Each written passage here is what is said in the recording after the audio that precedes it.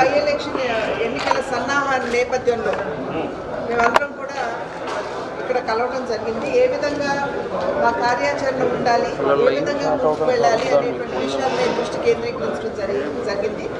అనేక అంశాలు అనేక విషయాలు ప్రస్తావనకి రావడం జరిగింది. వాటన్నిటి మీద కూడా నిర్మాణాత్మకమైనటువంటి చర్చ జరిగింది. కనుక ఒక వ్యూహంతో ఖచ్చితంగా భారతీయ జనతా పార్టీ మేలైనటువంటి మెరుగైనటువంటి ఫలితాలు సాధించే దిశగా అడుగులు వేస్తుంది అని చెప్పి మీ అందరికీ కూడా నేను తెలియజేసుకుంటున్నాను.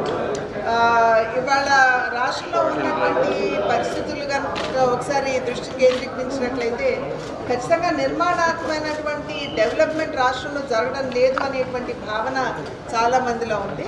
నిన్న మొన్న స్థానిక సంస్థలు కావచ్చు అదేవిధంగా కార్పొరేషన్ మున్సిపాలిటీస్లో జరిగినటువంటి ఎన్నికలు ఎన్నికల ఫలితాల నేపథ్యంలో అనేక పార్టీలు జబ్బలు చర్చుకుంటున్నటువంటి సందర్భంలో ఖచ్చితంగా ప్రజలకి తెలిసినటువంటి విషయమే ఇది. న్యాయపరంగా జరిగినటువంటి ఎన్నికలు కావు అని అని చాలామంది భావిస్తున్నటువంటి నేపథ్యంలో తిరుపతి ఎన్నిక అనేది నిజంగా రేపు ప్రజల యొక్క వారి యొక్క ఆలోచనని వారి యొక్క మనోభావాన్ని ప్రస్ఫుటంగా ప్రతిఫలిస్తుంది అని చెప్పి మేమైతే భావిస్తున్నాము అనేక మంది ఇక్కడ ఉన్నటువంటి మా పార్టీలో ఉన్నటువంటి అగ్ర నాయకులందరూ కూడా ఒక్కొక్క అసెంబ్లీ ఇన్ఛార్జ్గా బాధ్యతలు తీసుకోవడం అదేవిధంగా అక్కడ ఉన్నటువంటి స్థానిక నాయకత్వంతో ఏ విధంగా ఒక రకమైనటువంటి ఒక మంచి వాతావరణంలో వెళ్ళాలి అనేటువంటి విషయాల మీద కూడా దృష్టి కేంద్రీకరించడం జరిగింది. అదేవిధంగా జనసేన తోటి వాళ్ళ భారతీయ జనతా పార్టీ అలయన్స్లో మిత్రపక్షంగా ఉన్నటువంటి సందర్భంలో వారి యొక్క సహకారంతో కూడా మేమందరం కలిసి ముందుకు ముందుకు వెళ్తామనేటువంటి విషయం మీ ద్వారా ప్రజలందరికీ కూడా తెలియజేసినటువంటి విషయం. అయితే అభ్యర్థి ఎవరు అనేది ఇంతవరకు ఖరారు కాకపోయినప్పటికీ కూడా జన సైనికులు భారతీయ జనతా పార్టీ కార్యకర్తలు ఇరువురు కూడా సుశిక్షితులైనటువంటి సైనికుల్లాగా ముందుకు వెళ్ళాలి అనేటువంటి ఆలోచనలో ఉన్నటువంటి విషయాన్ని అందరికీ కూడా నేను తెలియజేసుకుంటున్నాను. అయితే ఖచ్చితంగా భారతీయ జనతా పార్టీకి ఇవాళ తిరుపతిలో ఉన్నటువంటి వారు ఎందుకు ఓటు వేయాలి? ఈ యొక్క పార్లమెంట్ నియోజకవర్గానికి సంబంధించినటువంటి వారు ఎందుకు ఓటు వేయాలి అనేటువంటి విషయానికి వస్తే ఖచ్చితంగా తిరుపతిలో జరుగుతున్నటువంటి అభివృద్ధి చాలా వరకు కూడా కేంద్రం యొక్క సహకారంతో జరుగుతున్నటువంటి అభివృద్ధి అని చెప్పి ప్రజలందరూ గుర్తించాలి అని చెప్పి నేను వారికి తెలియజేసుకుంటున్నటువంటి విషయం. దేశంలో ఇవాళ సాగర్మాల పథకం ఏదైతే ఉందో దాని కింద ఎనభై మూడు రైలు ప్రాజెక్టుని ఇవాళ కేంద్ర ప్రభుత్వం తీసుకున్నటువంటి సందర్భంలో ఇరవై ఒక్క ప్రాజెక్టులు ఆంధ్ర రాష్ట్రానికి కేటాయించడం జరిగింది అని చెప్పి మీ ద్వారా నేను ప్రజలందరికీ కూడా నేను తెలియజేసుకుంటున్నాను. అదేవిధంగా నడిపుడి శ్రీకాళహస్తి మధ్య ఉన్నటువంటి ఆ రైల్ లైన్ ఏదైతే ఉందో రెండు వేల నాలుగు వందల యాభై రెండు కోట్ల రూపాయలతోటి ఇవాళ కేంద్రం మార్గ నిర్మాణానికి ముందుకొచ్చినటువంటి విషయం ప్రజలందరూ కూడా గుర్తించాలి అని చెప్పి నేను తెలియజేసుకుంటున్నాను. అదేవిధంగా ఓపుల ఓపులవారిపల్లి దగ్గర నుండి కూడా వెంకటాచలం మధ్య ఉన్నటువంటి తొంభై ఐదు కిలోమీటర్ల రైల్ రూట్ ఏదైతే ఉందో దానికి కూడా పద్దెనిమిది వందల ఇరవై ఐదు కోట్ల రూపాయలు ఇవాళ కేంద్రం మంజూరు చేసినటువంటి విషయం కూడా ప్రజలందరూ కూడా గుర్తించాలి అని చెప్పి నేను చేసినటువంటి విజ్ఞప్తి అదేవిధంగా తిరుపతిలో ఉన్నటువంటి మౌలిక వస్తువులు ఇప్పుడు తాగునీరు కావచ్చు అదేవిధంగా డ్రైనేజ్ కావచ్చు రోడ్ల నిర్మాణం కావచ్చు లేకపోతే పబ్లిక్ యాసెట్స్ కావచ్చు వీటన్నిటికీ కూడా స్మార్ట్ సిటీ కింద దగ్గర దగ్గర రెండు వేల కోట్లతోటి అరవై రెండు ప్రాజెక్టులు ఇవాళ తిరుపతిలో చేపట్టినటువంటి విషయాన్ని కూడా ప్రజలందరూ కూడా గమనించాలి అని చెప్పి నేను చేస్తున్నటువంటి విజ్ఞప్తి.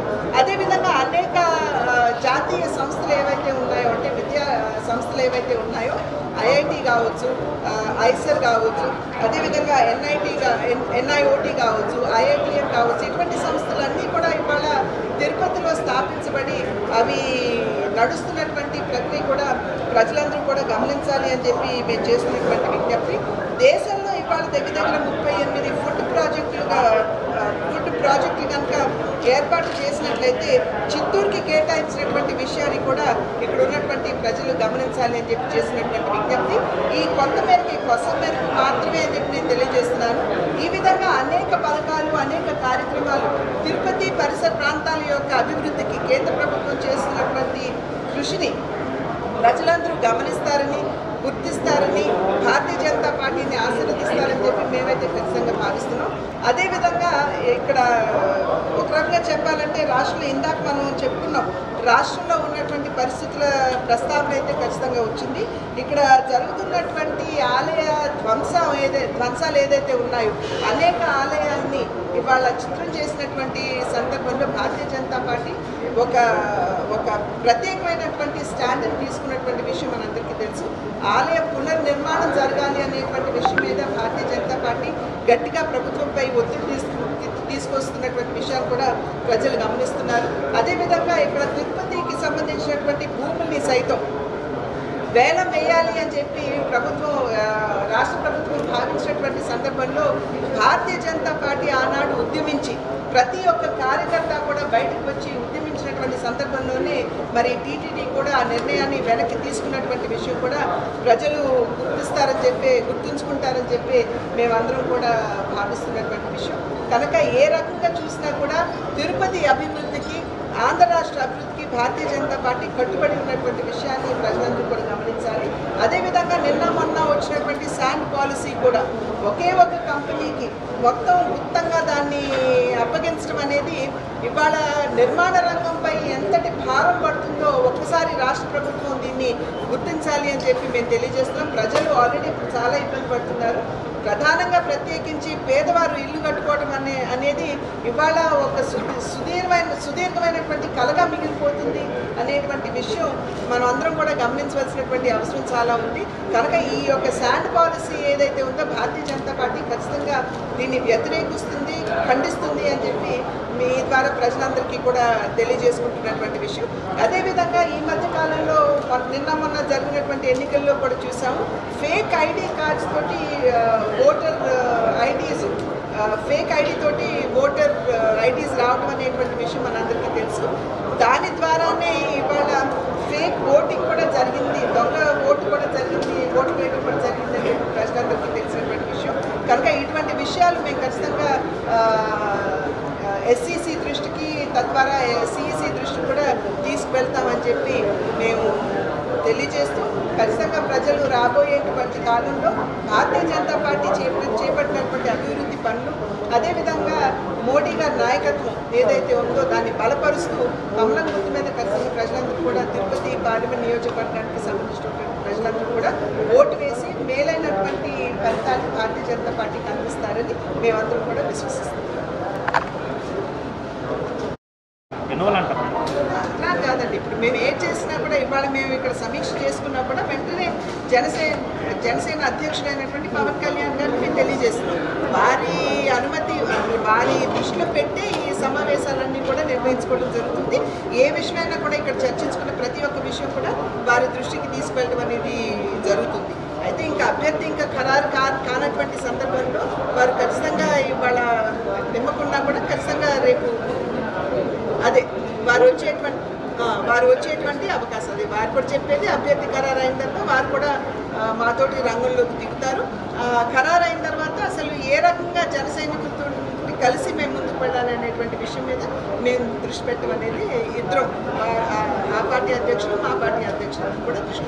మేడం అంటే గెలుపు పోరాటం కోసం బీజేపీ ఒకటే కమిటీలు వేసింది. అంతేనా మేడం? అంటే జనసేన అలాంటిది ఏమి ఉండదా?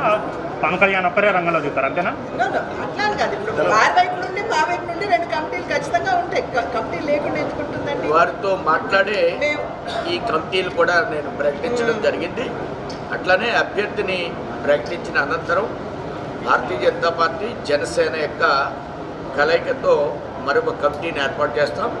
ఈ కమిటీలు ప్రకటిస్తున్నామనే అంశాన్ని కూడా స్పష్టంగా జనసేన వారి దృష్టికి తీసుకువెళ్ళడం జరిగింది. వీటిని ముందు ప్రకటించమన్నారు. అభ్యర్థిని ప్రకటించిన తర్వాత ఉభయలు కలిసి ఒక రోడ్ మ్యాప్ను తయారు చేసుకుని ముందుకు వెళ్ళాలనేటువంటి నిర్ణయం పవన్ కళ్యాణ్ గారితో చర్చించి తీసుకోవడం జరిగింది. నేను ఇందాక చెప్పినట్లుగానే ప్రతి ఒక్క విషయం కూడా ఇక్కడ మీటింగ్ జరుగుతున్నా మీటింగ్లో ఏం నిర్ణయాలు జరిగినా ఖచ్చితంగా వారి దృష్టికి తీసుకుని వారి సమ్మతితో ఇదంతా కూడా జరుగుతున్నటువంటి విషయం. స్థానికంగా స్థానికంగా ఎవరు జనసేన వాళ్ళని ఎవరు స్థానికంగా కూడా వాళ్ళలో ఒక ఒక్క నిమిషం. బీజేపీ నాయకులు మమ్మల్ని కలుపుకొని ముందుకు పోవట్లేదు. మాకు కలిసి రావట్లేదు. మీరు జనాలనే కన్నా మాకు ఇబ్బంది అంటే ఇంకా అసలు కార్య ఇంకా అసలు కార్య ఇంకా అసలు కార్యాచరణే ప్రారంభం కాలేదు. ఇది మా పార్టీ తరఫున చేసుకోవడం వరకే మేము పరిమితం అయ్యాం. ఇది అయిన తర్వాత ఇందాక మా అధ్యక్షులు గారు చెప్పినట్టుగా ఒకసారి అభ్యర్థి ఖరారైన తర్వాత ఖచ్చితంగా జన సైనికులతో వారి అధ్యక్షులతో మాట్లాడడం జరుగుతుంది. అప్పుడు సంయుక్తంగా కమిటీలు వేసుకోవడం జరుగుతుంది. ఆ పార్టీ వరకు ఇవాళ మేము వేసుకున్నాం ఇంతవరకు. ఈ విషయం కూడా పవన్ కళ్యాణ్ గారి దృష్టికి తీసుకెళ్ళడం మేడం అంటే ఈ ఫేక్ ఐడి కార్డ్స్ గురించి అంటే ఏమైనా డేటా ఏమైనా ఉందా మేడం? ఎన్ని ఎలా చెప్పబోతున్నారు ఇప్పుడు ఎన్నికల జరిగినటువంటి విషయం మీకు కూడా తెలుసు. యాజ్ జర్నలిస్ట్ మీకు కూడా తెలిసినటువంటి విషయమే. ఖచ్చితంగా ఈ ఫేక్ ఓటర్స్ ఓటర్ ఐడి ఏదైతే ఉందో త్వరలో దాన్ని ఖచ్చితంగా ఆధారాలతో పాటు ఎస్సీసీకి సిఈసీకి మేము అందించడం